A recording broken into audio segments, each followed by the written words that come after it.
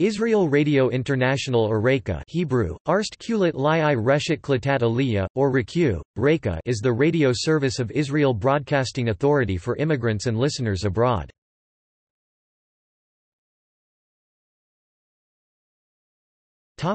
Overview Operating since 1950, the shortwave transmissions of Kol Israel, Voice of Israel, on Reshet Hay Network E broadcasts to the entire world. They are also the main link between Israel and the Jewish diaspora. In its early years, Kol Zion Lagola, Kul Zin Lgwl as it was known, was the sole reliable and direct source of information for Jews living in the Arab countries and behind the Iron Curtain Administered by the Overseas Broadcasting Division, it transmits to listeners abroad in 14 languages, English, French, Russian, Bukharan, Georgian, Mughrabian Judeo-Moroccan Arabic, Yiddish, Tigrinya, Ladino, Spanish, Romanian, Hungarian, Persian, Amharic and Aramaic. Apart from news and broadcasts reflecting events in the country, the channel transmits documentaries on Judaism, the history of the Israeli people, Israeli culture and discussions on immigration and absorption. As of the summer of 2007, the only Israel Radio International, Reshet Hay produced programming, is Persian. The rest of Israel Radio International, is a relay of the domestic Reka network. For example, the English news broadcasts on Reka and Israel Radio International are now identical. As of June 30, 2013, due to budget cuts, the Persian service is no longer on shortwave.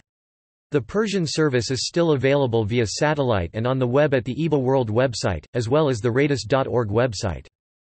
As of April 1, 2008, the only shortwave broadcasts which were left were 1.5 hours of Persian aimed at Iran.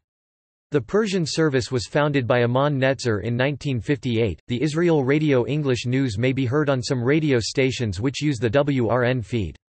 These stations do not broadcast at the same schedule as Israel Radio does, they are time delayed by WRN.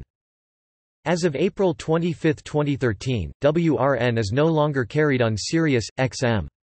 WRMI has said that they may add WRN programming back to their schedule in the future.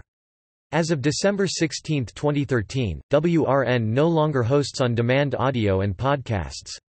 Israel Radio International is still available on WRN's English stream, though.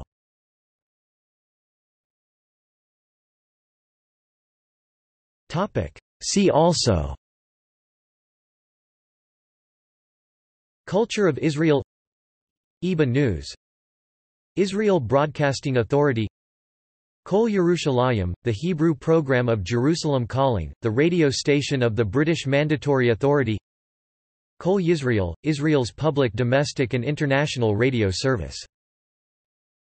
Menashe Amir Media of Israel